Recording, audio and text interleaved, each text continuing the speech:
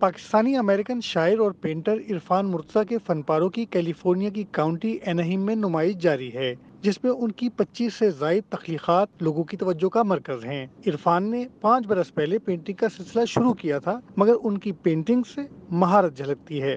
قریباً پانچ سال کا عرصہ ہونے کو آ رہا ہے اب کہ میں نے یہاں پینٹنگ سے سٹارٹ کی تھیں اور اب تک میں ایٹی تھری پینٹنگز کر چکا ہوں۔ جس میں مختلف چیزیں ہیں مختلف ملکوں کی۔ لیکن خاص کر جو میں نے کوشش کی ہے پاکستان کو اپنے آرٹ اور کلرز کے تھرو روشناس کروانے کی۔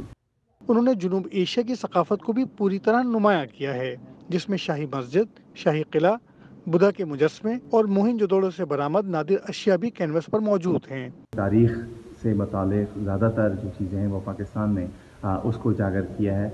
جس میں منجوٹارو ہے ٹیکسلا ہے، یا لاہور کی مسجد، یا شاہجہانی مسجد ٹھٹا کی۔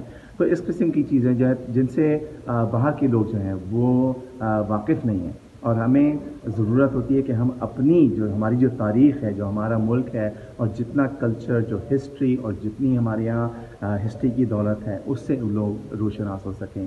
عرفان مرتضی نے نہ صرف امریکہ کے مختلف شہروں میں موجود تاریخی مقامات کو کینوس کی زینت بنایا ہے، بلکہ مختلف ممالک کی نوادرات اور ثقافتی اشیاء بھی دلکش انداز سے پینٹ کی ہیں۔ عام طور پر پاکستانی پینٹر ان چیزوں کو پینٹ کرتے ہیں جو پاکستان سے ریلیٹڈ ہوتی ہیں، لیکن عرفان مرتضی نے ان چیزوں کو پینٹ کیا ہے جو نہ صرف پاکستان سے ریلیٹڈ ہے بلکہ دنیا بھر کے ٹورسٹ کے لیے بھی اٹریکشن کا سبب بنے گی۔ نسیم حیدر جیو نیوز کیلیفورنیا امریکہ۔